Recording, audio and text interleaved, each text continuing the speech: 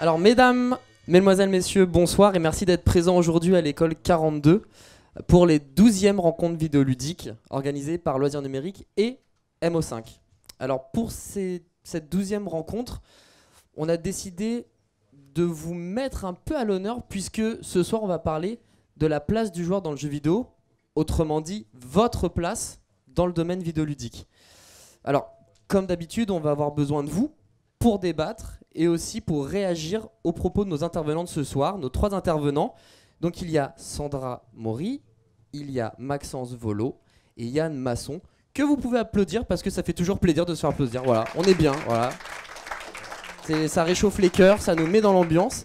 Du coup, Sandra, gentleman, je t'en prie, présente-toi. Bah, bonsoir à tous, moi je m'appelle Sandra.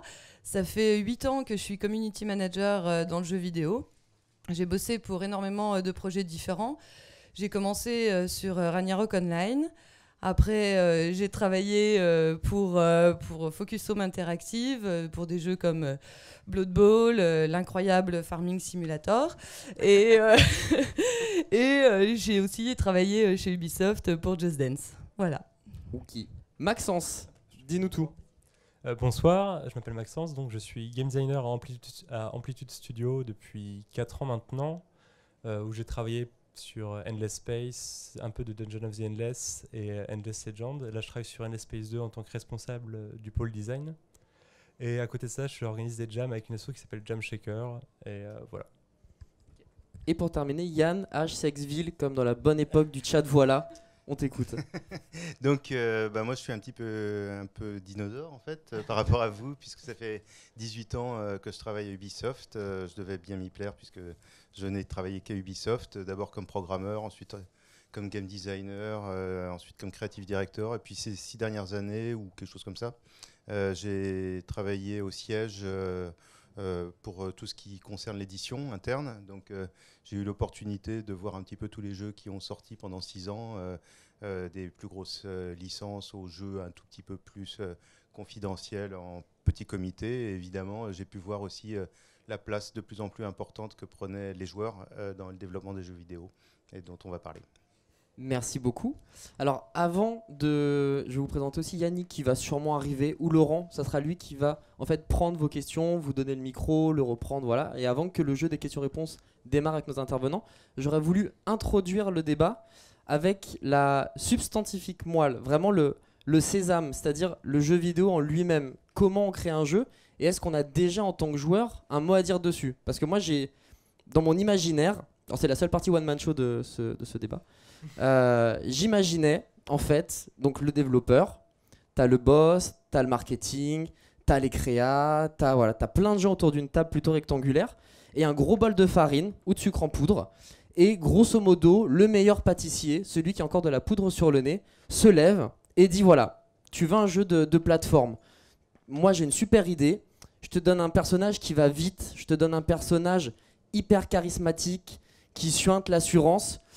Et comme idée, je pense que je vais te faire un hérisson. Et je vais te faire un hérisson bleu.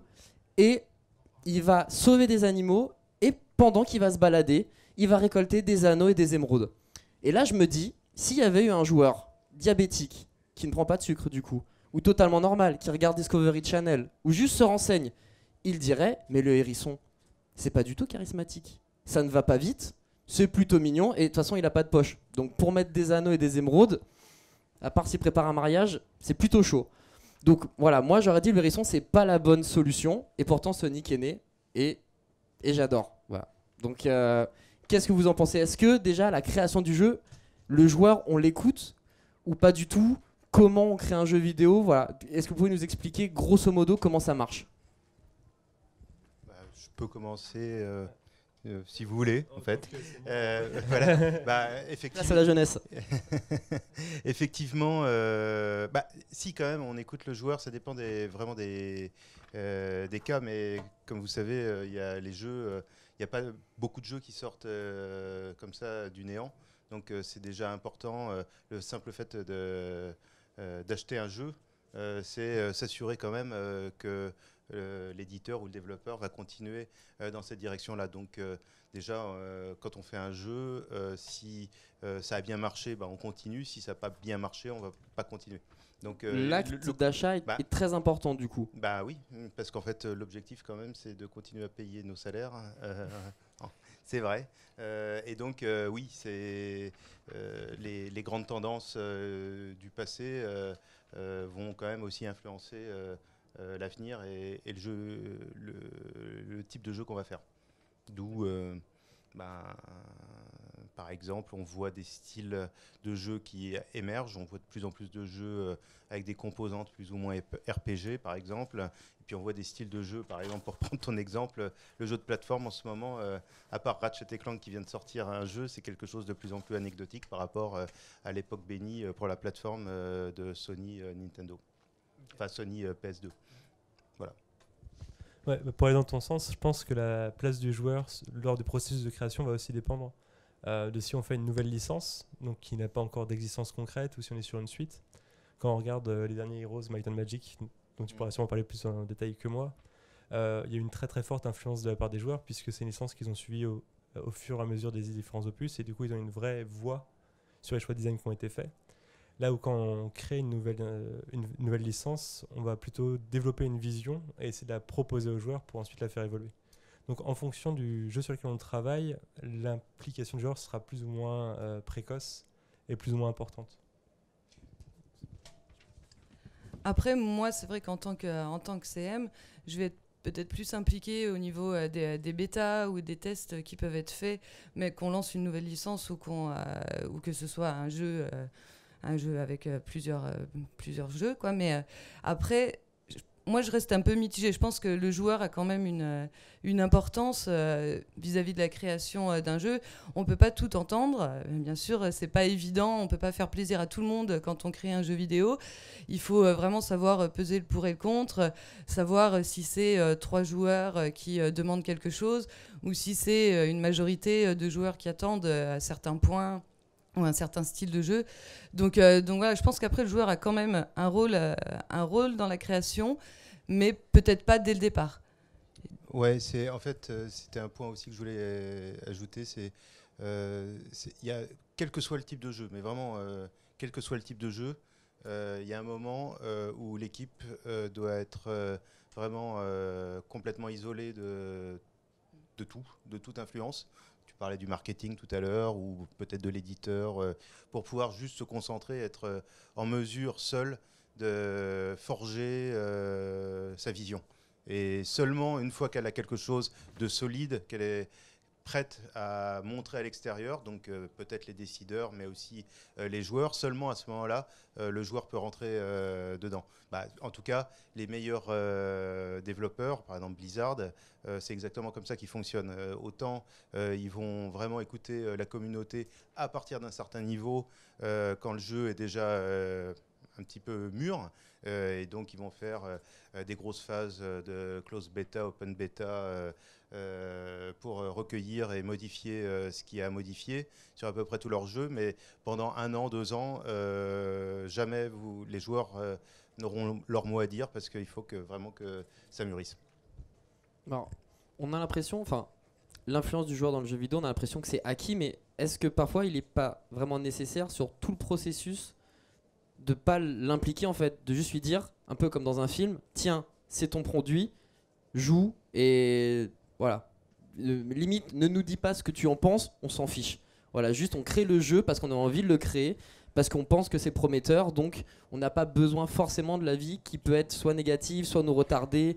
Et on sait très bien que le jeu vidéo, c'est un monde assez difficile, en tout cas en termes de critique. Il y a beaucoup de trolls, il y a beaucoup de dureté, parce qu'on pense, euh, enfin en tant que joueur en tout cas, genre savoir entre guillemets mieux que les programmeurs euh, et, euh, et le monde, bah, ce qui est bien ou pas.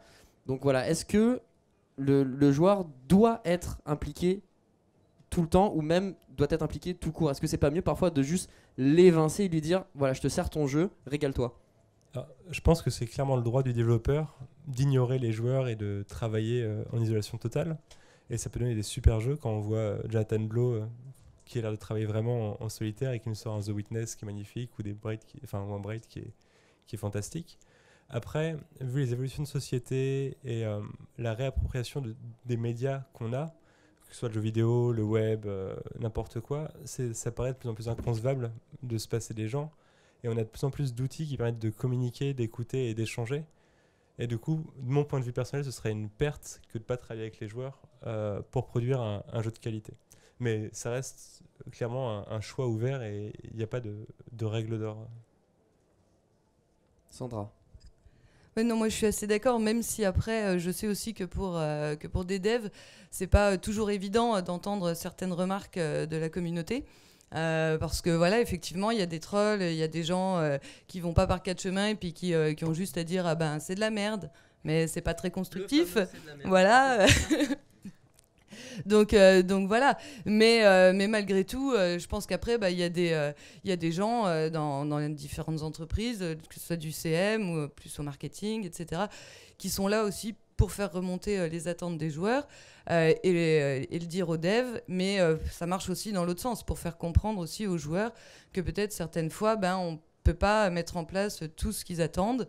Et, et voilà, et que après leur implication, elle est importante. Il faut qu'on les écoute, je pense. Mais, euh, mais voilà, des fois, tout n'est pas réalisable et c'est euh, un rôle aussi euh, qui, est, important pour moi de pouvoir faire, de discuter entre joueurs et l'entreprise.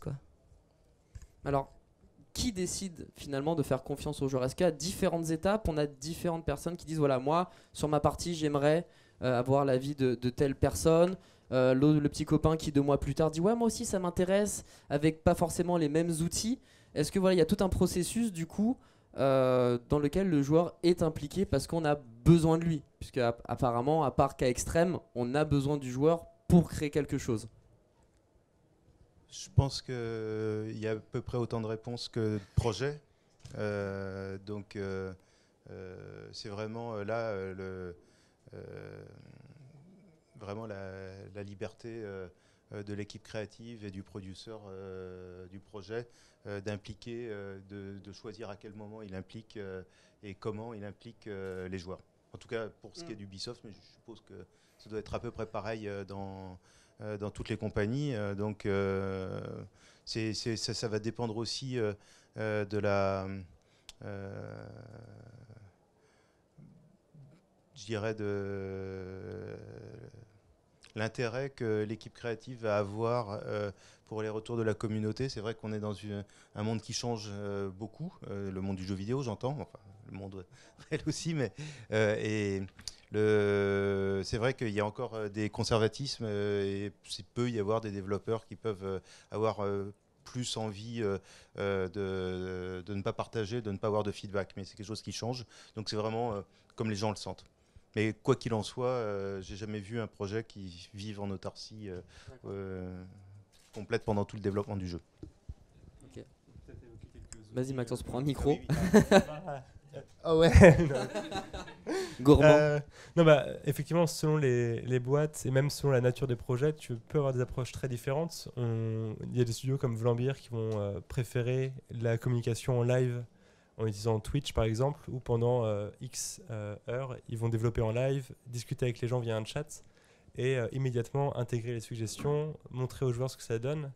Et ça permet de faire comprendre justement les incompatibilités qu'il peut y avoir entre une demande et sa matérialisation au sein du jeu.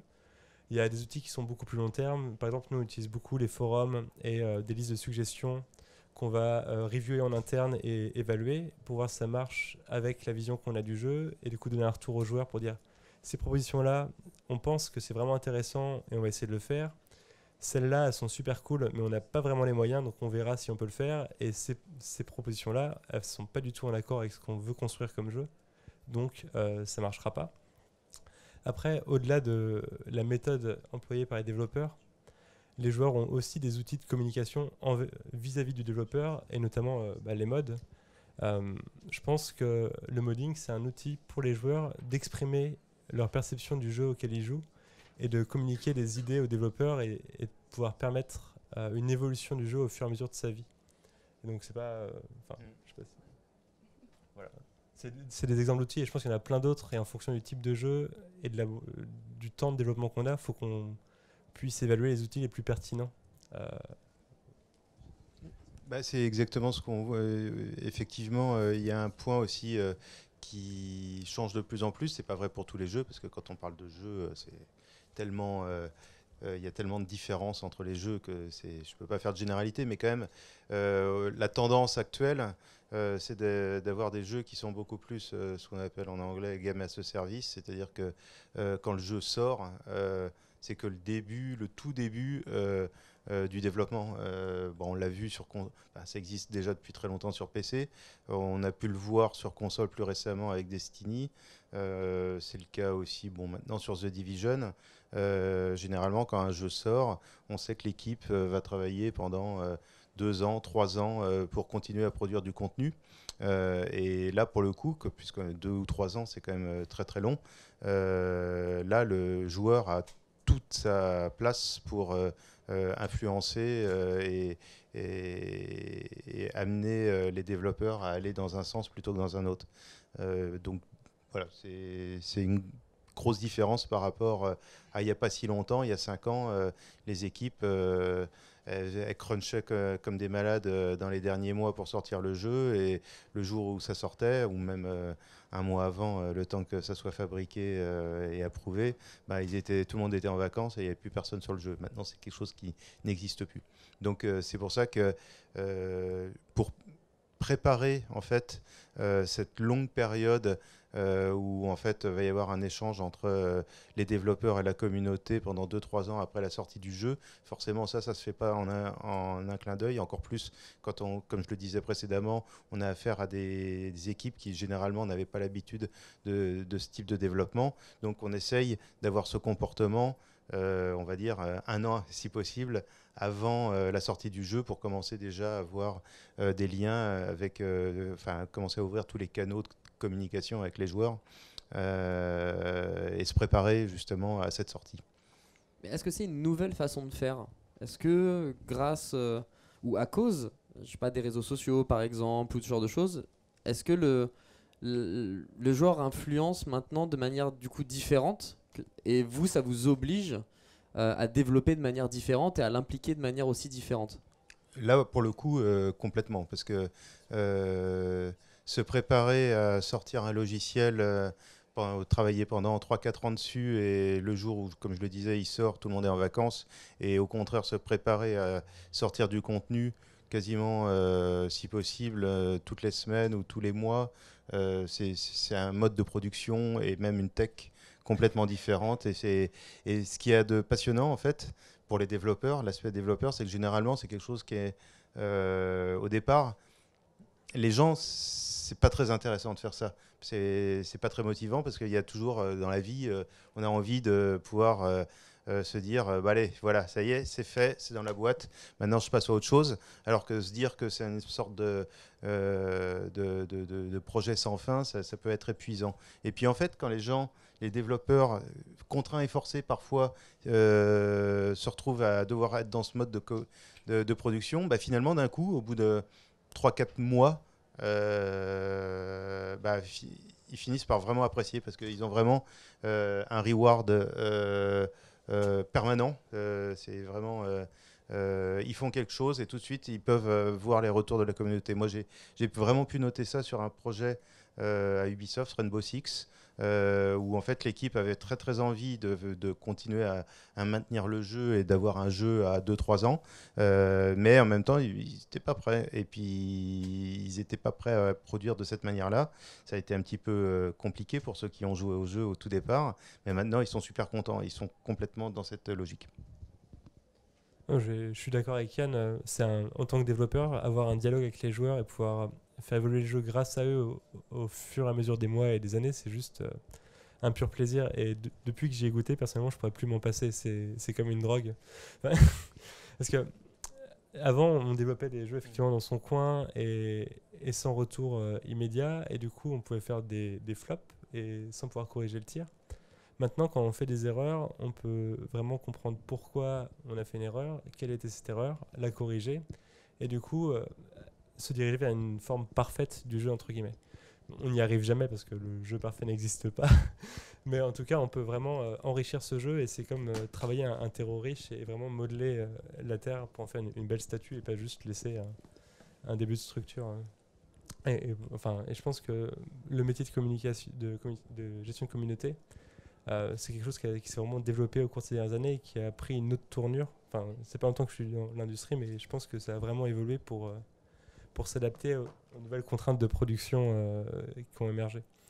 Euh, pour répondre à ta question, au niveau de la production, justement, nous, je sais qu'on a dû adapter ça et on utilise une méthode agile.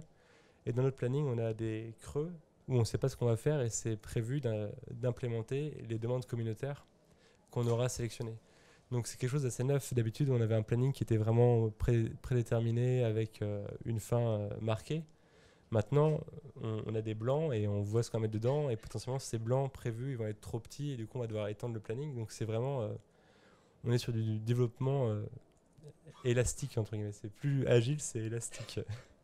Je sais pas si tu veux parler un peu justement de l'évolution du, Ouais, non, moi je suis, euh, je suis tout à fait d'accord aussi parce que c'est vrai que moi quand j'ai commencé, euh, bien sûr on avait déjà des retours et euh, les avis euh, des joueurs, mais, mais c'était que les, les hardcore gamers qui faisaient l'effort d'aller sur un forum, de s'inscrire, d'aller chercher le bon topic pour donner leur avis. Alors qu'aujourd'hui tout le monde est sur Facebook, il y a énormément de gens sur Twitter et c'est beaucoup plus facile pour... pour les joueurs euh, de contacter une entreprise, de contacter un community manager et de donner son point de vue. Donc, euh, donc je pense qu'aujourd'hui, oui, euh, on a changé, notre méthode de production, elle a changé parce que simplement les, commentaires sont aussi beaucoup plus présents, beaucoup plus visibles pour, pour les développeurs. Donc, donc voilà, et community manager, ça n'existait pas il y a 10 ans et, et aujourd'hui, euh, il y en a de plus en plus. Donc euh, je pense que c'est pas uniquement dans le jeu vidéo. euh, voilà, on, on écoute de plus en plus les utilisateurs et les, et les clients par rapport à nos produits. Mais est-ce que tous les commentaires sont bons à prendre? Parce qu'il y en a quand même un sacré paquet. Parce que vu qu'on peut taguer tout le monde hyper facilement, il doit y avoir un raz-de-marée de. Non, bah tout n'est pas fou. bon à prendre. Heureusement que non.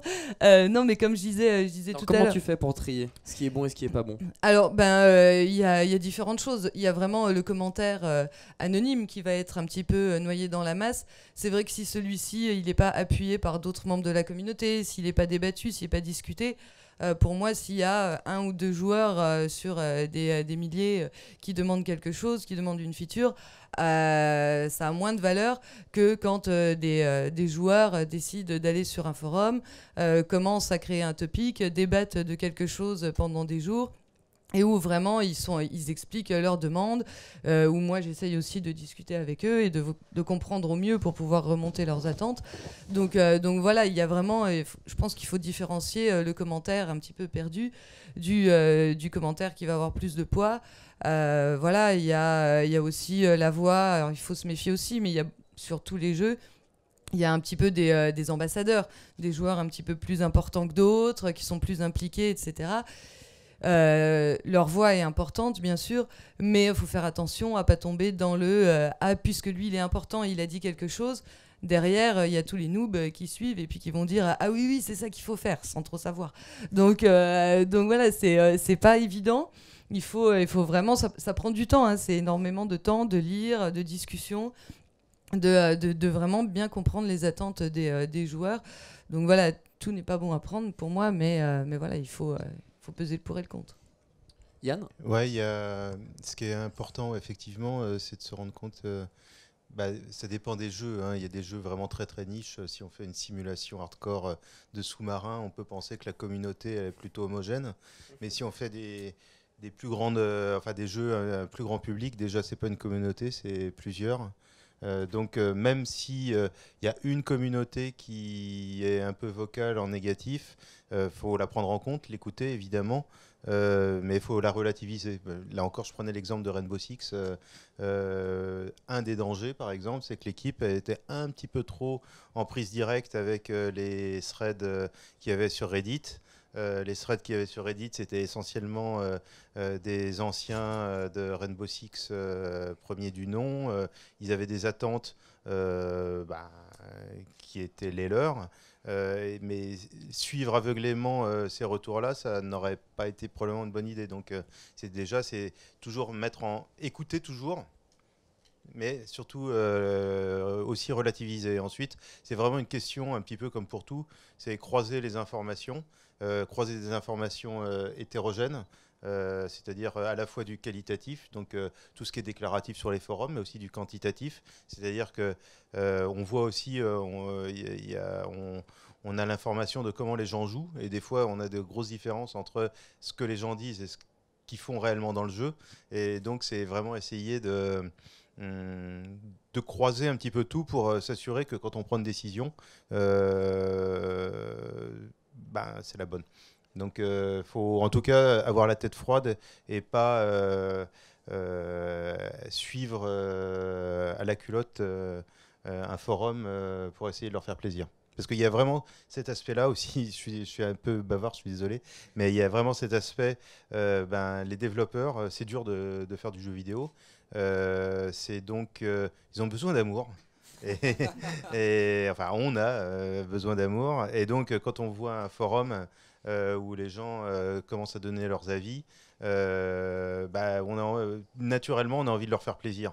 Et des fois, c'est pas pour les bonnes raisons. En gros, si on avait demandé au secrétaire dans les années 60 euh, euh, qu'est-ce qui aurait pu, qu'est-ce qui pourrait améliorer leur, euh, la manière dont tu travailles, euh, je pense qu'on n'aurait pas inventé le traitement de texte ni le tableur. Enfin, je sais pas si c'est d'ailleurs c'est un grand bonheur de l'utiliser, mais voilà, c'est, enfin, je voulais la placer, mais ça, j'avais entendu ça, je crois que c'était à l'époque d'un scénariste, où- un scénariste qui disait il faut donner au public euh, ce qu'il attend, mais pas de la manière dont il s'y attend. Et je pense que c'est vrai pour tout dans l'entertainment et notamment dans le jeu vidéo, c'est-à-dire écouter, mais surprendre aussi.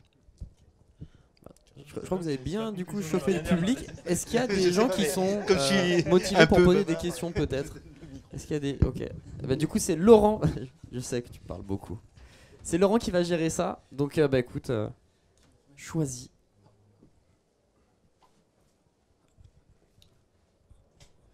Bonjour à tous, Bonjour. Euh, je m'appelle David. Bonjour, J'ai David. j'ai noté quelques trucs. Euh, le, premier point qui m'a un petit peu, euh, enfin, je sais pas si je peux dire choqué, mais c'est juste que vous, parlez beaucoup de, donc, des joueurs et, leur, euh, donc de l'influence qu'ils ont sur les jeux, mais euh, c'est presque comme si on oubliait que les développeurs étaient avant, avant tout des, joueurs en fait. Et du coup, comment, par rapport à ça, vous vous placez? Qu'est-ce que vous pensez de ça? J'avais aussi euh, noté euh, surtout de la question euh, de. C'était une question plus en fait. C'était plus lié à Maxence, je pense. Parce que je sais que donc, tu, as travaillé sur Endless Space, c'est ça? Et je voulais savoir en fait par rapport à, au développement, donc où il y avait tout un système de, de vote en fait pour choisir des features à implémenter. Je voulais avoir un peu, euh, parce que j'ai suivi ça de, loin, un petit peu un post-mortem de qu'est-ce que, est-ce que ça a été vraiment positif? Est-ce qu'il y a eu euh, des décisions qui en fait euh, sont retrouvées à, être euh, négatives pour le jeu ou, ou inversement? Voilà. On répond d'abord à la première question de manière plus globale peut-être. Alors, je pense qu'on distingue, enfin personnellement je distingue développeur et joueur dans le sens où en tant que développeur, on, on va vivre dans une bulle toute la durée du projet.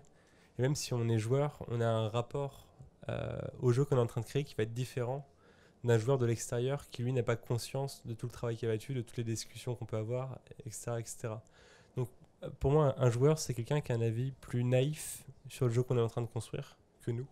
Et c'est là où il y a une vraie, une vraie euh, barrière. Euh, quand je dis naïf, c'est pas négatif, hein, c'est plus naïf dans le sens où il peut pas avoir tout le passé euh, et l'expérience qu'on a accumulée autour du sujet qu'on est en train de traiter. Euh, et du coup, cette naïveté, elle permet d'apporter un regard neuf et pur que nous, on a perdu. Et, c'est cette confrontation qui est vraiment intéressante et c'est pour ça qu'on fait un distinguo, je pense. Nous, nous en tant que développeurs joueurs, on, va aussi se nourrir de notre, côté joueur, mais de manière un peu plus déformée. Parce qu'on a toujours ce prisme développeur et, qui va permettre d'interpréter notre expérience. Je sais pas si je suis très clair. euh. Sais pas si tu veux répondre à la question joueur-développeur. Il y a de ça, ouais. Bah, euh, enfin, je vais peut-être répondre d'une manière différente. Je pense que, euh, effectivement, de toute façon, euh, la très très grande majorité des développeurs de jeux sont aussi joueurs ou ont été joueurs, ne sont pas toujours encore de très très gros joueurs parce que comme la démographie, les, gens vieillissent souvent, ils ont des enfants, ils n'ont plus autant de temps à consacrer euh, à leur passion, euh, le jeu vidéo. Mais juste un point, moi je pense, euh, je ne sais pas si c'est de ça dont tu voulais parler, je pense pas qu'on soit obligé d'être un grand amateur du type de jeu sur lequel on est en train de travailler. Moi j'ai même l'inverse. Pour plein de raisons, euh, moi j'avais pas envie de presque euh, morale entre guillemets euh, de travailler sur un, jeu Tom Clancy, Ghost Recon. euh, le côté militaire, c'était pas un truc qui me faisait triper. Et puis finalement, j'ai été amené quand même à travailler sur Ghost Recon Advanced Warfighter comme game designer. Et là, c'était vraiment une découverte pour moi. C'est que le simple fait de ne pas être attaché émotionnellement au jeu, ça m'a permis, j'ai l'impression, d'avoir travaillé beaucoup mieux euh, dans le game design. En tout cas, euh, ça comme une image, j'ai eu l'impression d'être un peu comme un chirurgien euh, qui se pose pas la question de savoir euh, si la personne qu'elle opère, elle est bien ou mal. Bah là, c'était dans un style que j'aimais pas trop, que je connaissais pas, mais par contre, j'ai fait tout le travail euh, de jouer à Full Spectrum Warrior, tous les jeux de guerre qui, qu'il y avait eu avant. donc j'ai fait mes, mes devoirs. Et ensuite, j'ai eu. Voilà, je pense avoir fait du très bon travail, alors même que j'étais pas euh, le type de joueur qui aurait joué à jeu. C'est vrai que c'est important. Enfin, quand on est trop euh, passionné par le genre de jeu qu'on fait, on, a des, biais, euh, je pense. Et pour la deuxième question, du coup, sur le Games Together, donc effectivement, c'est un, un système qu'on a mis en place à la sortie d'Amplitude qui a pour vocation d'impliquer les joueurs sur tout le processus. Pour l'expliquer rapidement, on essaye de gamifier le développement participatif. Donc les joueurs, en s'investissant sur les forums et en participant, vont accumuler des, points. Et ces points vont permettre de voter pour euh, différents éléments qu'on va euh, sélectionner. Donc ça peut être des features de jeu ou euh, du contenu précis du jeu. Est-ce qu'il y a eu des impacts négatifs? Je pense pas pour plusieurs raisons. D'une part, on, reste en contrôle de ce qu'on soumet au vote. Donc tout ce qui est soumis au vote va dans le sens qu'on souhaite euh, prendre. Et euh, justement, ces périodes de vote, c'est aussi un moment euh, de forte émulsion où les joueurs vont débattre et ça nous permet d'apprendre beaucoup de choses sur leur perception du jeu et, et leurs attentes, indépendamment du résultat. Et, donc, jusqu'à présent, on n'a pas vu de, de points négatifs. On en a vu des limites et du coup, avec l'expérience accumulée au cours des cinq dernières années, on, réfléchit à comment faire évoluer le système pour l'améliorer, le rendre plus pertinent. Mais je pense que ça, ça fait que du bien parce que au- au-delà de l'apport qualitatif sur le jeu, c'est aussi un- une manière de fédérer la communauté et de souder. Et même s'il y a des, des votes qui sont clivants et il y a des, des pans de la communauté qui vont vraiment avoir des avis divergents, étant donné que c'est entre leurs mains la décision, elle sera beaucoup mieux acceptée par ceux qui sont contre. Parce qu'ils savent qu'ils ont eu euh, voix et qu'ils ont eu l'opportunité d'affecter ces décisions-là. Et du coup, ils prennent moins ça comme euh, un rejet de leur vision, mais comme euh, la projection, la vision globale des gens qui, sont investis dans le jeu. Donc je pense que ça a plus, ouais, même des effets positifs sur les, tensions euh, qui peuvent exister au sein de la communauté globale. Alors, avant de passer à la question suivante, j'avais totalement oublié, parce qu'on est dans notre petit cocon, on est bien. En fait, on a aussi filmé. Et du coup, pour les gens qui nous regardent, via le hashtag LRV12, vous pouvez poser vos questions et c'est là, et on pourra en poser quelques-unes, bien évidemment. Merci David pour tes questions. Est-ce qu'il y a d'autres personnes qui ont des interrogations? Euh, bonjour, je m'appelle euh, Karim, 28 ans, joueur depuis tout tout petit et j'ai un gros problème quand même déjà dès le début de la conférence. Vous avez clairement dit que le jeu vidéo c'est c'est fait pour apporter de l'argent avant tout. Attaque frontale. Allez. Pour moi, personnellement, je vais acheter quelque chose que j'aime. Et il n'y a, pas il y avait pas dans votre discours le, on, on fait un jeu pour les joueurs, quoi. À partir de là, je vois pas comment est-ce que vous pouvez faire un jeu que nous on va aimer s'il n'y a pas cet objectif là qui est présent et qui est primordial.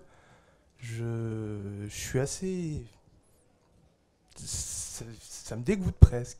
Ouais. enfin, je suis désolé, mais justement, enfin, je comprends pourquoi j'ai pas acheté un jeu Ubisoft depuis des années finalement. Et en plus, non mais c'est, enfin, voilà, j'avais peur de passer pour un troll, mais je veux dire, euh, vous avez dit en plus que finalement le joueur est écouté plutôt dans les suites parce qu'on va avoir le retour du joueur, etc. Au final, après plus tard, on comprend que le joueur finalement il est peut-être écouté que depuis 5 ans et encore. Ça dépend de quel type de joueur. Et encore là, c'est la masse, encore une fois. Enfin, euh, est-ce que dans les suites aujourd'hui des AAA, le joueur est-il vraiment écouté? J'en doute. L'heure d'aujourd'hui, Assassin's Creed est complètement. Enfin, apparemment, il n'y en aura pas cette année. Enfin, à la base, le jeu, il avait été prévu comme étant une trilogie.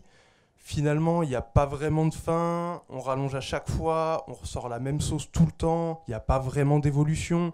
Il n'y a pas vraiment de changement. Et ça, c'est pour tous les gros AAA, quelles que soient les boîtes, à part Blizzard, que vous avez nommé comme étant presque la meilleure entreprise, le- le- les meilleurs éditeurs du monde, on va dire. Enfin, en tout cas, comme quoi ils sortaient des jeux finis et quasi parfaits, vu qu'ils écoutaient la, communauté et qu'ils sortaient également quelque chose de, créatif. Euh, je vois le titre de la conférence. Quelle est l'influence du joueur dans le jeu vidéo de demain? Déjà, quelle est l'influence du joueur dans le jeu vidéo d'aujourd'hui vraiment, finalement Puisqu'au final, les devs apparemment sont un peu dans une bulle. Même si on écoute un peu plus le joueur, il reste dans une bulle pour conserver sa créativité, ça je le comprends. Mais encore une fois, du coup, est-ce que finalement le dev fait un, joueur, fait un jeu pour les joueurs et pas juste pour lui-même? Et au final, s'il le fait pour lui-même, bah, pas, pas vraiment, puisqu'au final, il y a des gens comme vous qui finissaient par travailler dans des jeux de type où ils n'y trouvent aucun intérêt, si ce n'est euh, du travail. Donc, Vas-y Yann, attaque. Tu peux y aller. Non, non, bah non, c'est pas une question d'attaque.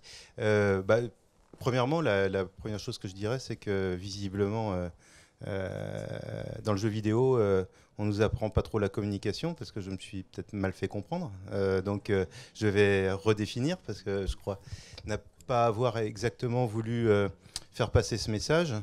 Euh, ce que je voulais dire par euh, argent, enfin c'est pas quelque chose de tabou non plus, c'est qu'effectivement, euh, si un jeu, un type de jeu est acheté par beaucoup de gens, c'est quand même un indicateur que les gens achetés et réachetés, c'est quand même un indicateur que les gens apprécient ce jeu. Donc refaire dans cette direction, j'ai pas dit la même sauce, j'ai dit aller dans cette direction, prendre en compte le fait que, enfin le passé sur savoir ce qui a réussi ou pas, c'est déjà un premier pas pour aller dans le sens euh, d'un joueur, euh, des joueurs. C'est finalement si euh, un jeu qui fonctionne très bien, dit non, on s'en fout là, de ce que racontent les joueurs.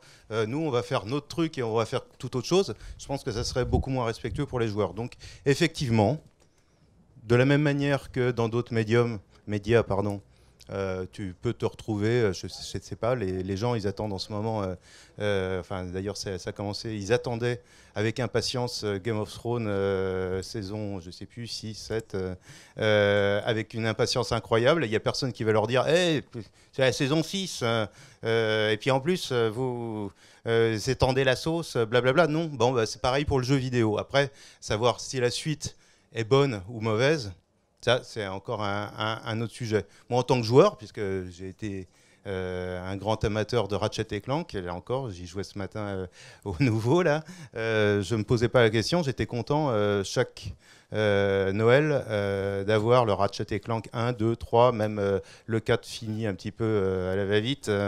Donc, moi, ça me choque pas en fait euh, cette notion de suite. Tu parlais par exemple de Assassin's Creed. Euh, Il y a eu effectivement un véritable souci euh, sur Assassin's Creed Unity, pour plein de raisons, mais c'est- vraiment pas le sujet. Mais puisqu'on va prendre un pot après, je pourrais t'expliquer aussi sans aucun souci qu'est-ce qui a fait que on était dans cette direction. Mais il faut quand même bien savoir que, et j'en reviens encore, c'est exactement ce que je disais tout à l'heure, communauté sur les forums, euh, c'est qu'une partie un petit peu immergée de l'iceberg, c'est pas toute la communauté.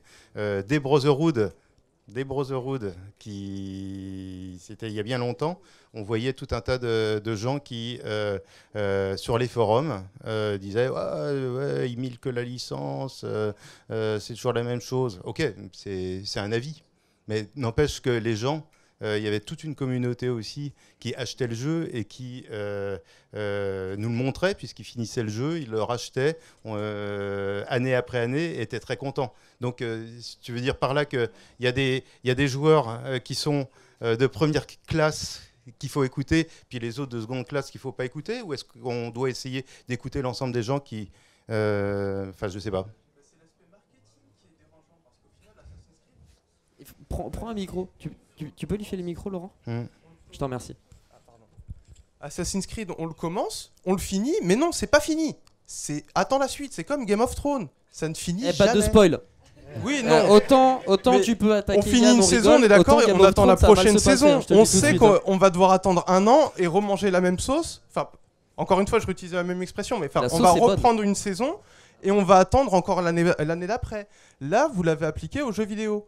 Et finalement, mais- oui, bien sûr, je- moi j'ai acheté Assassin's Creed pendant des années, mais plein d'autres jeux aussi. J'ai dit Assassin's Mhm. Creed parce que Ubisoft, mais il y en a plein d'autres. Mais et à la fin, je me suis, au bout de 3-4 ans, je me suis senti trahi Mhm. littéralement. Parce que encore là, à la fin, je vois, bah non, le jeu il est pas fini, il faut que j'attende l'année prochaine. Et je vais encore payer 70 euros pour un jeu que je vais finir en une dizaine d'heures et qui sera peut-être pas fini d'être dev. 70 Mhm. euros quand même, là c'est... Qui est Voilà. très sentimental. Ah oui, Très Ah très oui. sentimental. oui. Surtout à l'heure d'aujourd'hui où quand même, faut pas le nier, on peut... tout- Enfin, on, on est dans une école de, de dev, quoi. on sait utiliser Internet, le jeu vidéo. Si on l'achète, c'est vraiment qu'on l'aime. Et donc la trahison, elle est d'autant plus difficile. Oui, mais le jeu vidéo, tu l'aimes ou tu le quittes? Sache-le. Est-ce que tu veux rebondir, Yann? Ou Ben, un autre acolyte, peut-être? Non. Ah bah, En fait, je pense qu'il faut quand même se rappeler. On fait des jeux parce que ça nous passionne et parce qu'on aime les joueurs, mais ça reste une industrie. Et, et la notion d'argent qu'évoquait Yann, c'est quand ton, ton jeu il, ne se vend pas, potentiellement ta boîte est cool et tu as 50 personnes dont c'est le travail quotidien qui se retrouvent euh, à devoir rechercher du boulot. Il y a une réalité, euh, qu'on accepte ça ou pas, marketing qui- qu'il faut assumer. Mais, euh, mais ça n'empêche pas de faire des jeux pour la passion et pour des joueurs pour autant. Et oui, il y a, une épée Damoclès, l'industrie se doit produire, et du coup, il y a des boîtes qui vont suivre des tendances marketing et surtout les grosses structures qui ont une responsabilité euh, vis-à-vis de plein plein de gens qu'on ne peut pas oublier. Après, quand tu as de la scène indépendante, ça va être d'autres dynamiques, c'est des gens qui vont être beaucoup plus libres et plus innovantes, mais parce que les enjeux sont pas les mêmes pour eux. Et quand, quand tu es deux développeurs, tu peux te permettre d'aller innover, d'aller explorer des voies, parce que tu mets que toi et l'autre personne en danger, c'est pas du tout pareil. Quand tu es le patron de, 20 000, de tr- 2000 personnes, euh, t'as as quand même 2000 personnes qui euh, vivent grâce à toi et c'est pas anodin. Enfin, du coup, c'est faut pas avoir d'avis tranché, il faut réussir à mesurer ça. Moi, je, je suis pas forcément fan de l'industrie AAA et c'est mon point de vue. Enfin, je, partage certaines, certains avis que tu as pu évoquer, mais euh, en tant que professionnel, il faut aussi avoir un, recul et euh, mettre de côté sa, passion réfléchir à pourquoi les gens agissent comme ça. Et et il y a des raisons. euh, Je te passe un micro. Je t'en prie. C'est que pour moi, euh, dans le marketing, le, but du marketing, c'est quand même que le, client euh, ressente le produit, avec son émotion, quoi. Qu'il voit pas juste en dans le jeu juste un produit. On est d'accord quand même que c'est- la base d'un business. ouais, mais euh, potentiellement, enfin, tu parlais d'Assassin's Creed, potentiellement, toi, tu t'es usé vis-à-vis de ce produit-là? Mais c'est pas pour. Enfin, je, je, je, sais autres, pas. euh, entre autres, c'est pas, enfin ça m'a pas non plus euh, détruit ma vie. hein. Non, non, non, mais dans, dans le sens où l'expérience qu'il peut fournir, tu n'y es plus réceptif parce que tu l'as trop expérimenté, mais potentiellement, il y a encore des millions de gens qui, eux, ont- prennent plaisir à y jouer. Et c'est pas parce qu'il y a des personnes qui ont joué au 1, 2, 3 et qui, du coup, en ont marre du 4, 5, 6 que certaines personnes n'ont pas commencé à y jouer à partir du 4 et, euh, et s'amusent encore avec Assassin's Creed. Donc c'est difficile de, de juger d'un point de vue purement euh, subjectif euh, le, le fait qu'un jeu continue d'exister parce que il y a certains, certaines séries qu'on Enfin, pour moi, c'est surtout euh, probablement que tu n'es pas euh, réceptif euh, au la manière, enfin quelques manières de- d'entertainer en, en ayant des suites. C'est-à-dire qu'en gros, tu n'es pas client de beaucoup de séries, je pense. Ah si, si, si. Si. Ah si, si, si. C'est Donc- pas le problème. C'est parce qu'au contraire, justement, comme Mm. il a dit, il y a aussi des jeux indépendants où euh, la créativité a, a une plus grande place dans le processus de création et qui marchent, euh, je vais peut-être pas dire tout autant, je suis pas non plus un expert des chiffres, mais je vois beaucoup plus de jeux indés qui, qui cartonnent, qui explosent littéralement, dont beaucoup de, de- de grosses boîtes AAA aimeraient avoir les mêmes chiffres. Et pourtant, euh, dans le jeu, il y a quasiment que de l'amour, quoi. Il n'y a pas de il y avait peut-être presque même pas un but vraiment lucratif derrière, quoi. Enfin, du moins pas aussi gros. Oui, je pense. Je pense qu'après, au niveau, euh, euh, des indés, euh, etc., euh, effectivement, il y a de temps en temps des perles qui émergent du jeu indépendant. Moi, je suis très fan de, de jeux indés. J'ai adoré The Stanley Parable, ce genre de truc où tout d'un coup, je me suis, éclatée, je me suis surprise toute seule en jouant, à ce jeu. Après, une communauté de joueurs mondiale, elle est hyper variée. Toi, il y, a- toi aujourd'hui, tu vas aimer euh, certains types de jeux. Il y a des gens euh, qui vont jouer occasionnellement, il y a des gens euh, qui vont vouloir jouer tous les jours, à des suites qui vont être, qui vont vouloir s'investir, suivre la vie d'un personnage, son évolution. Et tu as des gens qui vont être des, des joueurs complètement occasionnels. Donc après, je pense qu'il faut être, faut être pondéré, il faut pondérer les choses et parce que parce que voilà, il y a, y a différentes attentes de la part euh, des gens aujourd'hui, mais euh, et aussi euh, moi pour avoir euh, travaillé avec euh, différents studios, euh, il y a énormément euh, de gens euh, passionnés qui aiment ce qu'ils font, qui aiment leur jeu, qui aiment les joueurs. Euh, après, bah, il y a malgré tout euh, des fois euh, des, réalités des contraintes de, temps ou d'argent, euh, parce qu'on ne peut pas faire tout le temps euh, tout ce qu'on veut. On aimerait tous euh, pouvoir euh, développer euh, le jeu de nos rêves, euh, le faire euh, dans les meilleures conditions possibles. Mais, euh, mais oui, il y a peut-être une réalité euh, derrière, euh, marketing, euh, business, qui fait qu'aujourd'hui, ben, il, faut, il faut des fois réfléchir à quel point on va faire ou qu'est-ce qu'on va pas faire. Et, voilà, c'est super difficile de satisfaire l'ensemble des, des joueurs d'un jeu.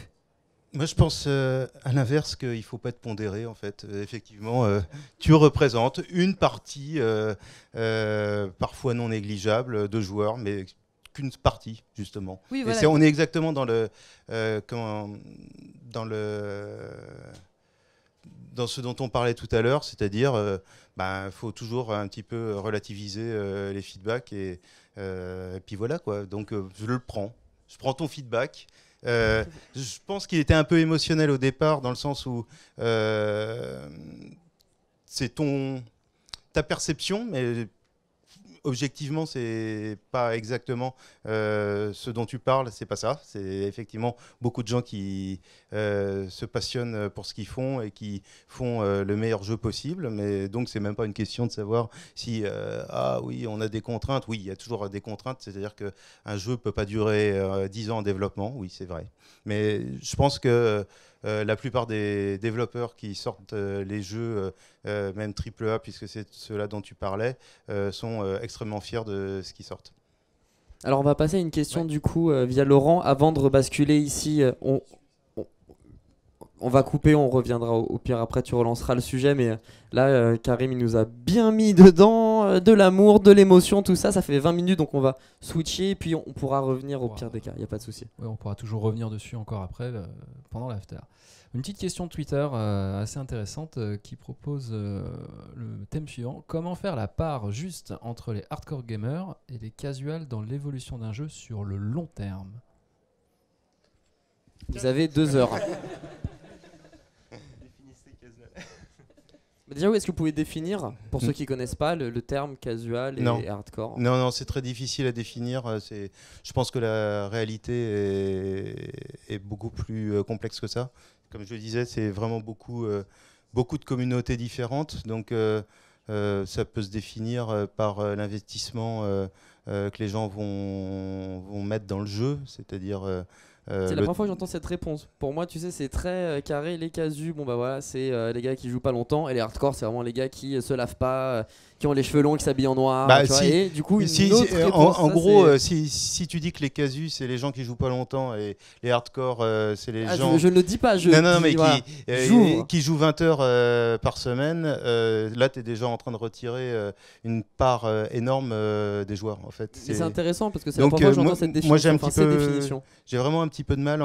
Si la personne sur Twitter pouvait même presque préciser un tout petit peu plus, qu'est-ce que, enfin, qu'est-ce qu'elle,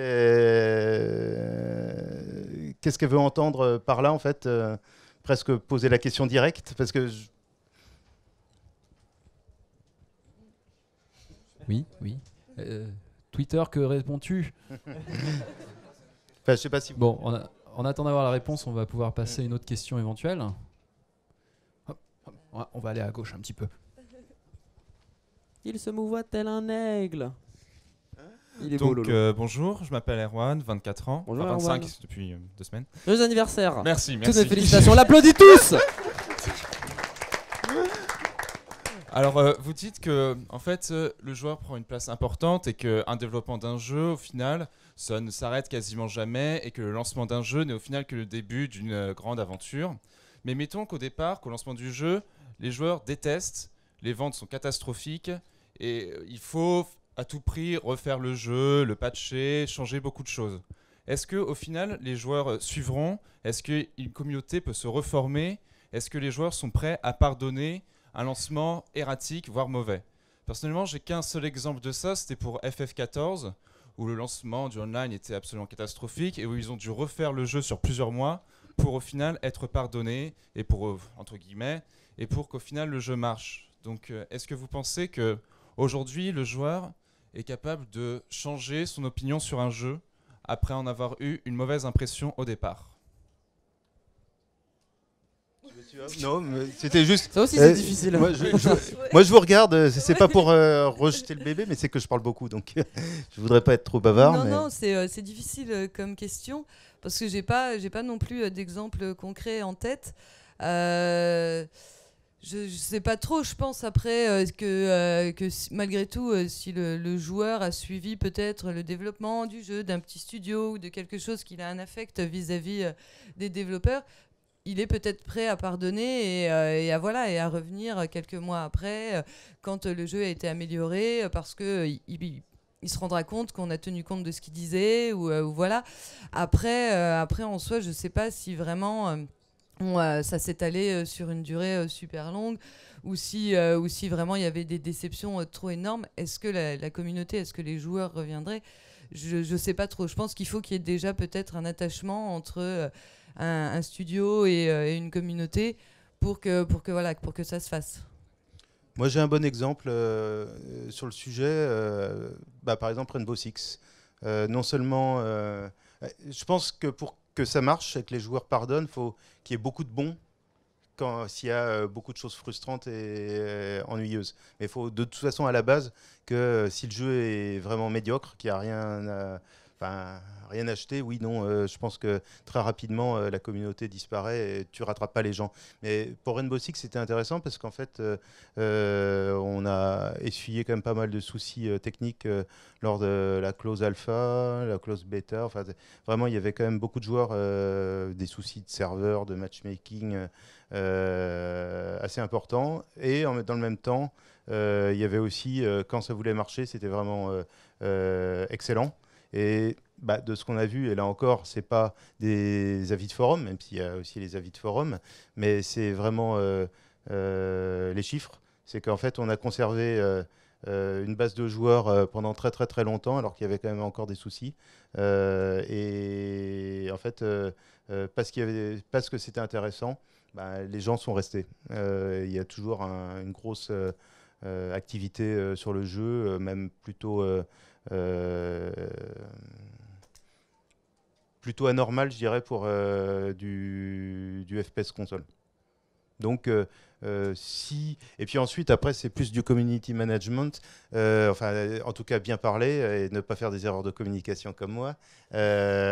Et donc, en l'occurrence, bah, si, par contre, être là pour le coup, comme je le fais, c'est-à-dire plutôt transparent, je pense que à partir du moment où il y a quelque chose de bien dans le jeu et où la communication est transparente, qu'il n'y a pas de mensonge et que bah, en fait, les joueurs sont généralement prêts à, à- à pardonner. Bon, après, si ça commence vraiment à chuter, c'est toujours difficile de refaire remonter une communauté, c'est sûr. Ok, il y a d'autres questions? Laurent, tu as le- l'embarras du choix. Ouah, on va essayer par là, tiens. Bonjour. euh, Bonjour. Jonathan, euh, 27 ans. Depuis longtemps? 27 ans depuis longtemps Oui, ou? Depuis longtemps. Ah, bon. C'est pas grave. Dommage.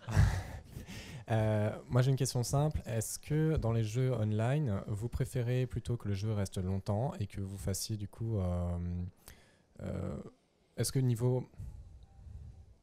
rentabilité Vous préférez qu'un jeu sorte et puis ait sa durée de vie de 6 mois, 1 an, 2 ans, peu importe, mais assez courte Ou est-ce que vous préférez que le jeu online perdure longtemps? C'est mieux, c'est plus intéressant financièrement, lequel des deux choix? Tu vas fâcher car il m'a d'argent. Attention. Il est remonté. Vous avez une idée par rapport à ça, par rapport au, à- aux chiffres Combien ça rapporte? J'ai aucune expérience dans le online, du coup je pourrais pas répondre concrètement. Après, les avantages à faire durer un jeu vis-à-vis d'en recommencer un, c'est d'acquérir en expérience avant de, de refaire un jeu depuis le départ, parce que même quand tu fais une suite, tu as beaucoup de choses à refaire et à, et à reprendre en, en profondeur. Du coup, plus ton, plus ton jeu tu le fais voler, plus tu fais vivre, plus tu seras prêt à faire un meilleur jeu derrière. Donc pour moi, l'intérêt, il n'est pas tant pécunier que, que d'expérience euh, à acquérir. Euh, sur euh, Amplitude, là, Endless Space, premier du nom, on l'a fait vivre pendant deux ans et quelques, et là on attaque euh, enfin la, suite Endless Space 2.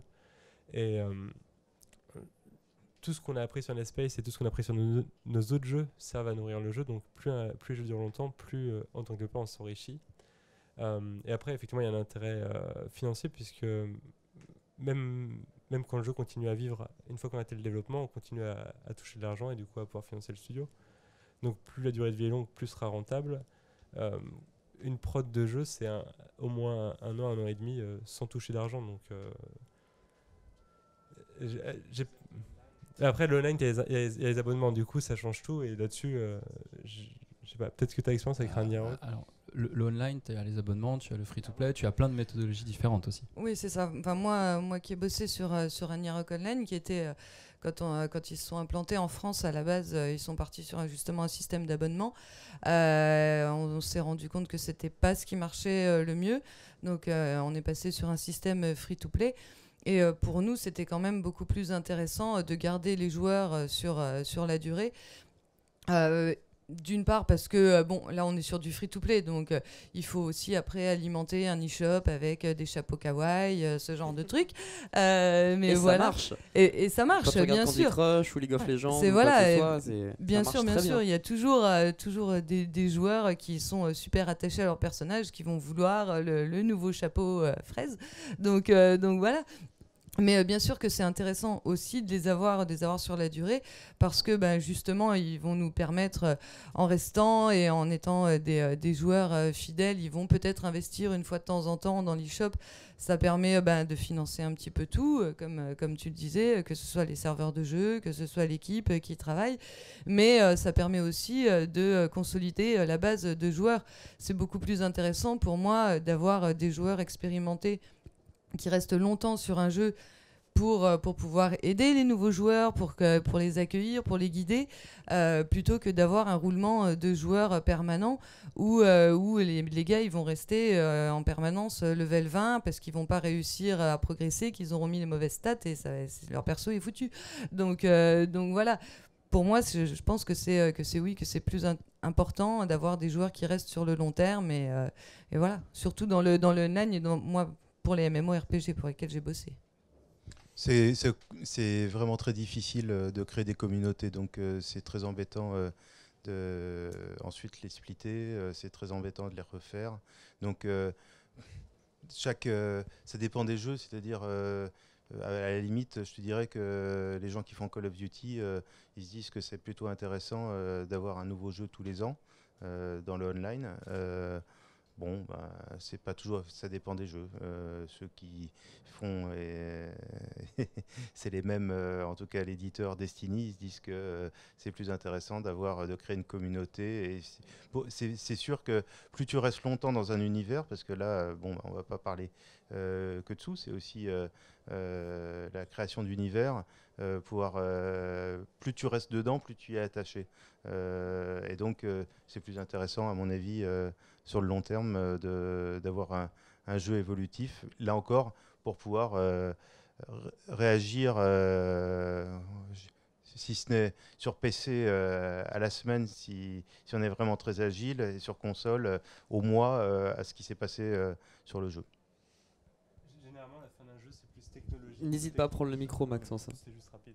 Vas-y, bah, je t'en prie. Je t'en prie. Généralement, c'est plus une, une contrainte technologique ou technique qui fait qu'on va arrêter le développement du jeu et passer à autre chose qu'une vraie volonté de dire, enfin, un, un, abandon de la part des joueurs. Mais euh, il y a peu de raisons en tant que développeur d'arrêter à travailler sur son jeu euh, comme ça du jour au lendemain.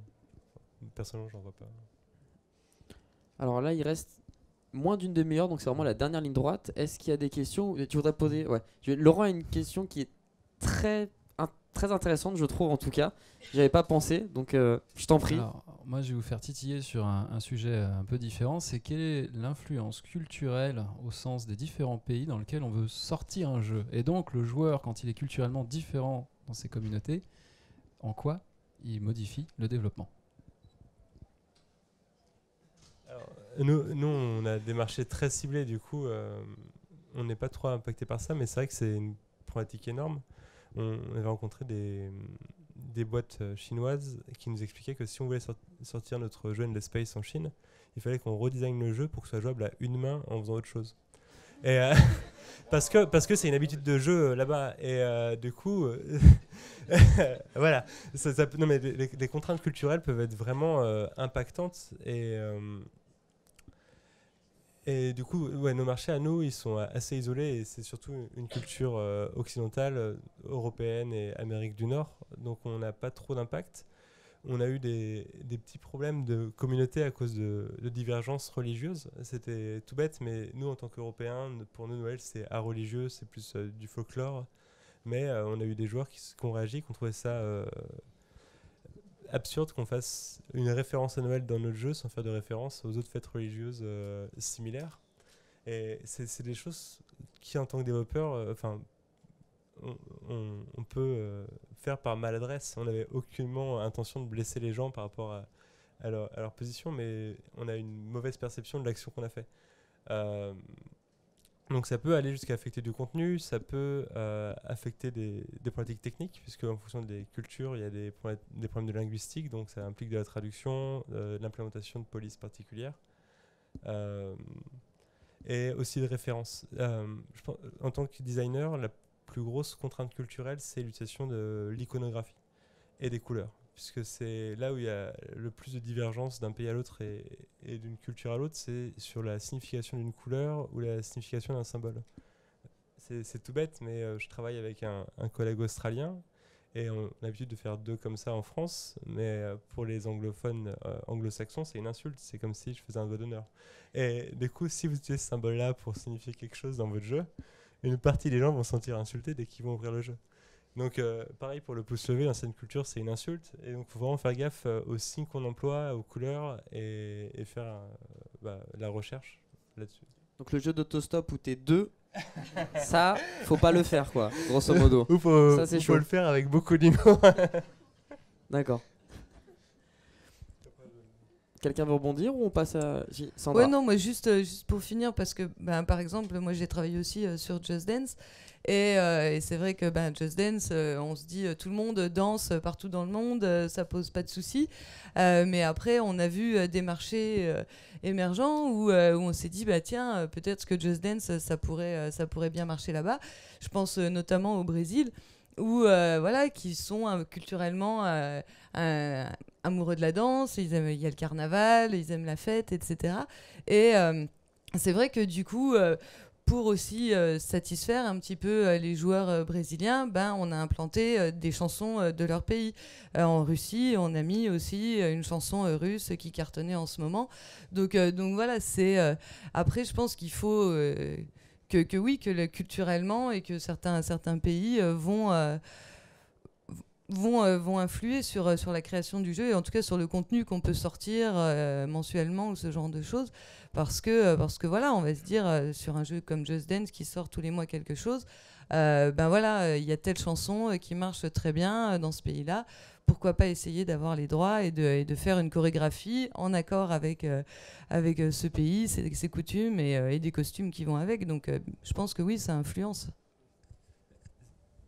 Si on prend l'exemple de Zen, justement, il y a une version purement japonaise qui est sortie en plusieurs éditions parce que c'est un pays qui est tellement à part sur euh, ce genre de jeu qu'ils ont fait bah ok, on va faire le jeu pour le Japon, euh, ça marchera mieux. Et ça, c'est assez impressionnant. Enfin, l'impact culturel sur le développement, ça peut aller jusque-là. Ok. Il y a, d'autres questions? Oui, il y a plein de questions, je crois que. C'est lui qu'il faut interroger. D'accord. Ah, Du coup, je te laisse mettre le micro. hein. Bonsoir. Euh, J'avais une question euh, qui euh, portait notamment sur tout ce qui tourne autour de l'inclusion sociale. On remarque que depuis quelques années, la société a pas mal changé dans ses mœurs, etc. Il y a de, plus en plus de voix qui s'élèvent pour défendre la place de la femme dans la société, la place des minorités raciales, entre autres. Aussi les questions de genre. c'est- un débat qui revient très souvent, notamment dernièrement avec Ubisoft. Je sais plus quel Assassin's Creed euh, a, a fait a posé problème à pas mal de gens parce qu'il manquait euh, une femme dans les personnages jouables. C'est le, le dernier ou l'avant-dernier, je sais pas. C'était Unity. C'était Unity. Et il y a aussi eu toutes les questions autour du Gamergate, euh, il y a, ça doit faire 2-3 ans maintenant. Euh, Est-ce que, euh, sous l'influence de, de ces joueurs, donc, parce que c'est plus seulement la, la société euh, au global, c'est vraiment des joueurs qui sont touchés par ces problématiques-là, est-ce que les créateurs de jeux ont vocation à prendre en compte cette influence et à faire du jeu vidéo un vecteur d'une meilleure inclusion sociale? Je ne sais pas si c'est très clair. Est-ce que, le jeu vidéo a forcément vocation à- répondre à ça? Forcément vocation non.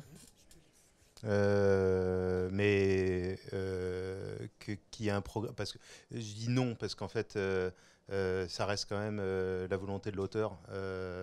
Et je vois pas pourquoi euh, l'auteur serait euh, euh, tenu absolument de faire progresser la société. C'est pas forcément un des objectifs du jeu vidéo. Mais par contre, oui, c'est un souhait globalement que ça soit le cas. Je pense que de toute façon, il y a forcément un impact des demandes des joueurs. Comme je le disais tout à l'heure, même pour un truc vraiment extrêmement simple, c'est que les développeurs, ils veulent être aimés. Euh, et donc, euh, d'être sous le feu des critiques euh, permanentes, il y a forcément une pression qui va faire que euh, ils vont aller dans ce sens-là. Ensuite, il va y avoir effectivement de plus en plus de gens qui vont pouvoir faire progresser effectivement la visibilité, d'avoir des héros féminins et la présence aussi euh, de euh, toutes les minorités euh, ou majorités même euh, au sein des jeux.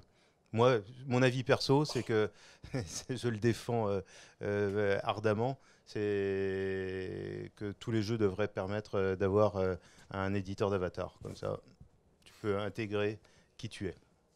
Ou qui tu veux plutôt. Attends, attends, attends. Je passe le micro.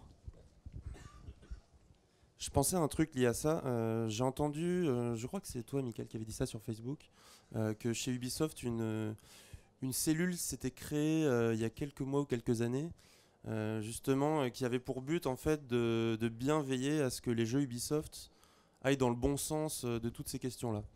Tu confirmes? Bah non, je ne confirme pas en fait. Euh, moi, pour moi, ça, ça me choquerait en fait euh, que ce soit le cas, euh, dans le sens où, bah, de toute façon, euh, qui ait un contrôle euh, sur l'éthique des jeux qui sortent et que tout, le contenu qui sort d'Ubisoft soit visé et que on, en soit fier et que ça ne ça n'enfreigne pas des valeurs euh, que défend la compagnie, ça c'est évident. C'est à peu près comme n'importe quel euh, producteur de contenu, il a un, contrôle là-dessus. Par contre, euh, si on devait avoir une espèce de cellule qui décide de ce qui est bien ou de ce qui est mal pour un jeu vidéo et qui censure finalement ou qui, ou qui comment dirais-je, influe sur ce que le créateur veut faire, non, c'est ça, ça m'embêterait. Enfin, je sais pas si c'est- c'est pas de ça visiblement dont tu voulais parler. Hmm. un, un groupe de travail sur ces questions-là, en fait. Je pense notamment. Bien sûr que, bah, que- que, vu tout le contenu euh, qu'on a, euh, on réfléchit à, à ces questions-là, mais quand même, la décision ultime, c'est euh, le creative director euh, qui l'a.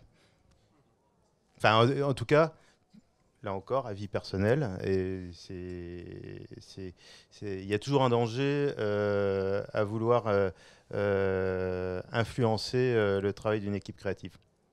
Après, si c'est en termes de support et soutien, et information, je pense que c'est quelque chose d'intéressant. Si ça commence à être vouloir bah, finalement modifier le contenu, ça, ça me pose problème. Enfin, faut faire attention au message qu'on véhicule quand on fait un jeu vidéo parce que en tant qu'industrie du divertissement, on a une part sur la société qui se construit puisque mine de rien, ce qu'on consomme à la télé ou en jouant, ça affecte notre, notre manière de penser. Mais effectivement, il ne faut pas tomber dans les travers de vouloir inclure à chaque fois des minorités pour inclure des minorités. Si tu fais un, jeu sur la Russie euh, du deuxième siècle et euh, que tu mets pas euh, d'Indien d'Amérique, ça me choque pas parce qu'il n'y a, a aucune raison de les mettre. Enfin, faut pas tomber dans le travers inverse. Et euh, c'est pas pour autant que le jeu ne peut pas parler de messages d'inclusion euh, en fonction des, des pratiques d'époque. Mais ouais, faut, je suis d'accord que la, la vision créative et la, la cohérence de l'expérience doit primer sur euh, une obligation de, de se conforter à, à une, ob- à- à une obligation d'inclusion. Enfin, C'est un souhait fort, mais c'est pas une euh, obligation. Dis-moi Laurent, du coup, est-ce qu'il y a une question? Je crois qu'il y avait deux, là, on a- on deux a- personnes dans le public On a qui étaient deux questions, motivées. dont un doublé. Donc on va commencer Allez. par le doublé. Zidane 98, facile. Euh, Bonsoir, je m'appelle. Olufemi. Euh, J'ai deux questions rapides. Euh, la Oui, première, euh, c'est pour revenir sur une réponse qu'avait donnée Maxence Volo sur Endless Space, la façon dont des joueurs s'étaient inscrits à un programme pour faire évoluer le jeu. Ils donnaient leur avis sur bah, le- la manière dont le jeu était fait et les développeurs prenaient ça en compte. Ça m'a rappelé bah, l'expérience que j'ai eue avec Assassin's Creed, dans la mesure où après chaque mission, on avait un système d'étoiles. Enfin, euh, on pouvait noter de 1 étoile à 5 euh, le chapitre qu'on avait fait. Et euh, je voulais savoir en fait euh, bah, comment les développeurs pouvaient tirer parti de ça? Car pour moi, c'est assez compliqué bah, de donner son avis sur une mission simplement sur un sy- système d'étoiles. Et tu pouvais pas commenter, c'était juste tu mettais tes étoiles et basta. Euh, C'est ça. D'après ce que j'ai vu, parce que j'ai jamais voulu euh, enfin, participer à ça, Mhm. mais euh, on avait de 1 à 5 qu'on pouvait donner comme étoile, et je me suis dit, bah, c'est assez compliqué parce que euh, il peut avoir les scénarios, les mécanismes de gameplay, l'ambiance, etc., qui font que un joueur, euh, enfin, c'est pas en donnant de 1 à 5 qu'il va vraiment Mhm. pouvoir donner son avis. Alors j'aimerais savoir quelle est l'opinion euh, bah, euh, des différents intervenants par rapport à ça.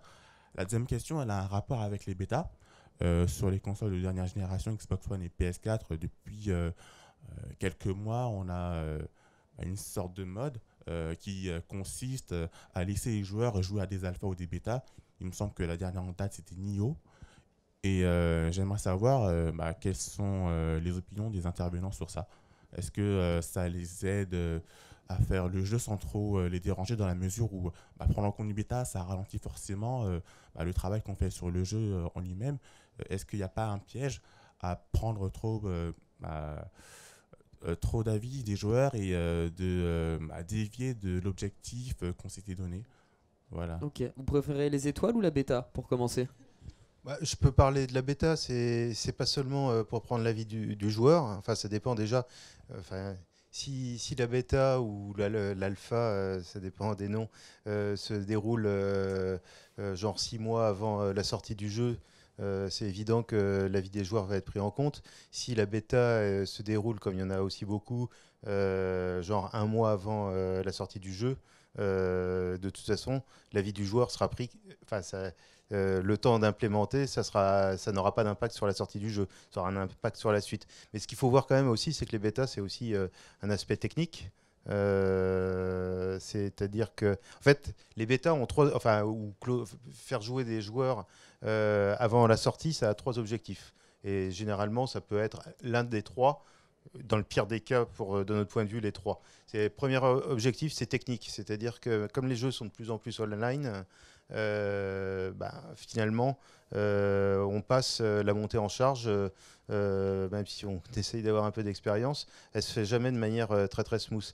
Euh, quand on passe euh, de euh, quelques centaines de joueurs à, si on a beaucoup de chance, euh, plusieurs millions euh, à un instant T le jour de la sortie, y a- si on n'a pas pu tester progressivement avec de plus en plus de joueurs, on a toutes les chances que ça se casse. Donc les bêtas, elles ont déjà pour objectif de, de mettre au point toute la technologie. online.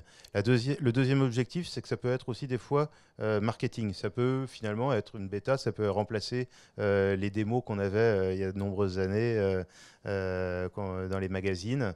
Donc avoir la possibilité de jouer à un jeu gratuitement pour voir si ça nous plaît ou si ça nous plaît pas. Et si ça nous plaît, ben, l'acheter pour de vrai. Puis le troisième objectif, c'est celui dont tu parlais, c'est-à-dire ben, reprendre le comportement des joueurs, les avis des joueurs pour apporter des améliorations. Mais tout ça pour dire que ça n'est pas pour ça, c'est aussi pour les deux premiers points, euh, tech et marketing. Alors, juste avant de répondre au. À moins que tu voulais rebondir dessus aussi. Vas-y, vas-y, je t'en prie, Maxence. Que j'ai un avis euh, très différent dans le sens où euh, nous, euh, la bêta pour nous c'est primordial dans le sens où tous nos jeux on fonctionne avec cette méthode early access parce qu'on a cette volonté inclusive des joueurs et de le faire au plus tôt pour justement éviter l'écueil de- d'avoir des retours trop tard. Donc euh, on, on a d'ailleurs souffert de notre absence d'expérience sur le côté marketing puisqu'on avait tendance à, juste faire une early access comme si on sortait un jeu mais en communiquant mal dessus. Et du coup une fois que ton jeu est sorti en early access c'est difficile de lui donner une visibilité plus tard parce que les joueurs sont déjà réappropriés l'expérience. Mais euh, du coup ouais, pour, pour nous c'est impensable de faire un jeu sans bêta de, de par le fait euh, de donner le jeu aux joueurs très tôt. Ça lui permet de, le faire mûrir et le faire évoluer et de valider la, la qualité et la direction qu'on prend. Et du coup je vais faire la transition sur le deuxième point. C'était sur euh, non, bah non c'est toujours sur ce point là euh, sur le côté ralentissement, effectivement, le fait d'inclure les joueurs, ça peut ralentir le développement et repousser une date. Et nous, ça nous est arrivé sur euh, nos jeux de repousser la date de plusieurs mois parce que on s'est rendu compte qu'on voulait offrir plus aux joueurs et qu'on n'était pas satisfait du niveau de qualité qu'on avait. Et euh, on, on fonctionne même avec un, système de validation communautaire, c'est-à-dire qu'on a des joueurs qu'on appelle des VIP qui vont nous donner le go pour sortir un joueur, pour sortir le jeu. Donc euh, c'est très important pour nous d'a- d'avoir cette validation euh, d'expérience euh, avant de le donner à tout le monde. Ok, alors juste petite parenthèse avant de revenir sur la réponse 5 étoiles.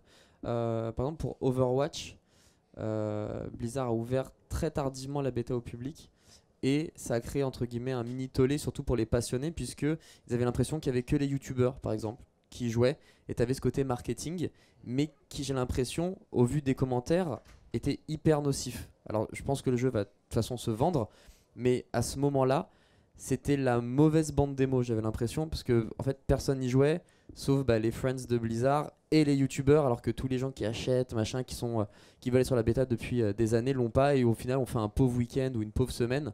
Donc euh, voilà, ça, c'est peut-être le danger de, certaines bêtas qui sont peut-être trop fermées et du coup pas assez ouvertes au public. Je sais pas ce que vous en pensez par rapport à ça. Est-ce que c'est, est-ce que c'était bien joué de la part de Blizzard de faire ça finalement Je peux vraiment pas répondre. Enfin, je sais pas en fait. euh, euh, c'est, enfin, il y a peut-être une perception négative. Est-ce que c'est euh, avéré? Est-ce que ça ne l'est pas? Je sais pas. C'est eux le savent, mais en tout cas, ils- même eux peuvent faire des conneries, ça c'est sûr. En, en soi, la perception négative, ça montre une envie de jouer au jeu, donc en soi, euh, c'est une bonne prise de température. Mais Alors, je vais vite répondre à ta question, puisqu'il s'avère que j'ai la réponse. Euh, tous les youtubeurs n'ont pas eu accès, et ça a fait un YouTube Gate, parce que justement, certains ont, ont beuglé sur le fait que c'était scandaleux, ils ont beaucoup de followers, ils n'ont pas eu accès. Et euh, les premiers retours en fait, de la bêta étaient très mauvais. Et donc, ils ont juste euh, mis un gros là très rapide. Et c'est pour ça qu'en fait, le- la bêta publique beaucoup plus ouverte a été plus tardive, tout simplement. Ok, voilà. Ça me rappelle l'épisode de South Park où personne ne peut rentrer dans le parc d'attractions, sauf une personne. Et du coup, c'est la publicité genre Ah, mais je veux absolument y jouer. Ben non, tu ne pourras pas. Et du coup, ça se vend 10 fois plus. Bref, parenthèse fermée, les 5 étoiles qui veut commencer. Et on terminera du coup par la question de monsieur. Et ça sera fini parce qu'il est déjà moins 10, je crois. je pense que 5 étoiles, effectivement, comme tu dis, c'est assez réducteur. Mais euh, alors, il y a deux choses.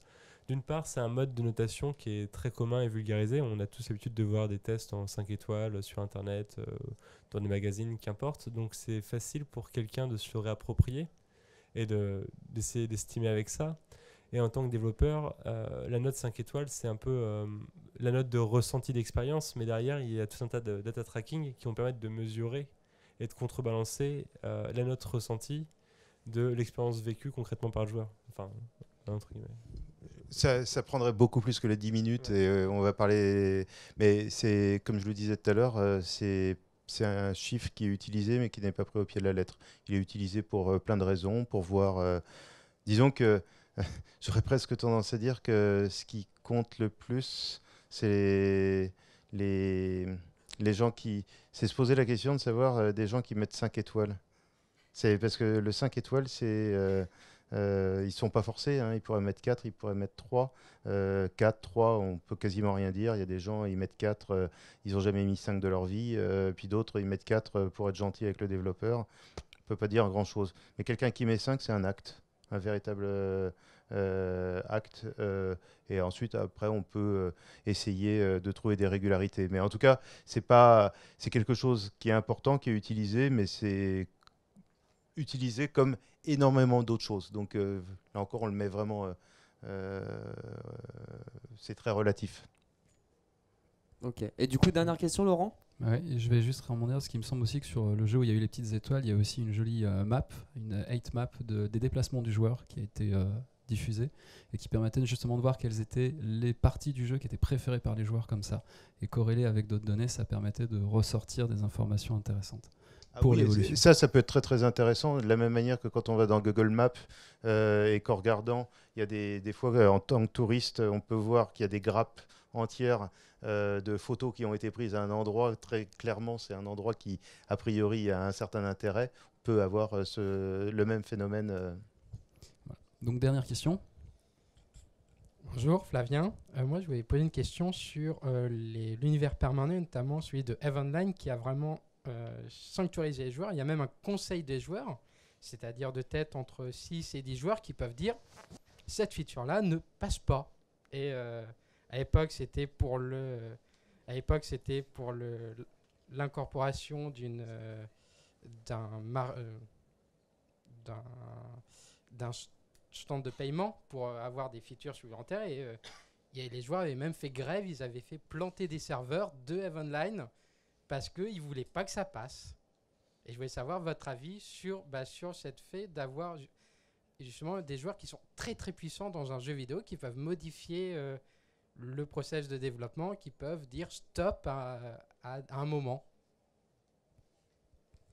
Ça vous est déjà arrivé ce genre de choses? Que c'est. Euh, Je, je pense que balèze, hein. c'est une des unicités d'Evenline, c'est d'avoir. Euh, Evenline, c'est comme s'ils avaient créé un univers parallèle qu'ils avaient donné euh, à la main des joueurs. Donc c'est limite au-delà d'un jeu, c'est un monde parallèle. Enfin, c'est le Second Life plus que Second Life euh, dans un univers euh, science-fiction. Donc je pense que les règles qui régissent Evenline sont difficilement applicables à d'autres jeux facilement et c'est un, cas très particulier. En tout cas, la perception que j'en ai. hein. Je suis pas un expert de, de Evenline.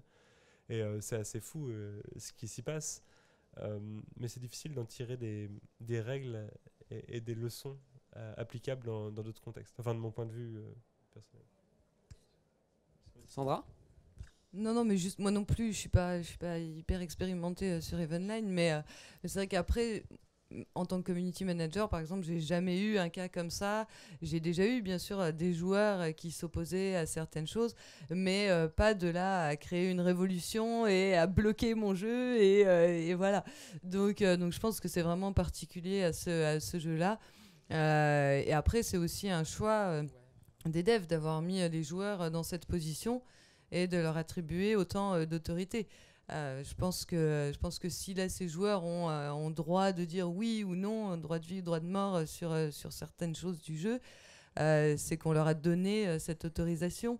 Euh, sinon, rien n'obligerait le- les créatifs à, suivre leur avis. Donc, euh, donc voilà. Euh, juste pour poursuivre, et au niveau plus, euh, au niveau plus de l'industrie, d'avoir des joueurs qui peuvent dire non à une feature, est-ce que ça peut mettre en danger euh, une équipe de développement ou de repousser euh, un nouveau patch ou, euh, En fait, ça dépend comment ils disent non et ce que ça veut dire non. C'est euh, important d'écouter les, les avis des joueurs et du coup justement le refus d'une feature et de comprendre pourquoi. Et effectivement, s'il y a une raison fondée et explicite, bah, il vaut mieux prendre le temps de reculer la sortie et de retravailler ça que de sortir à, contre-courant. Euh, donc, oui, ça peut avoir des impacts sur la production.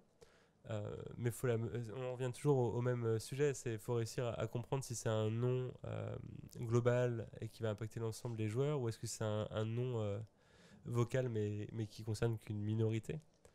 Euh, donc c'est difficile de, répondre de manière absolue. Yann, Sandra, non?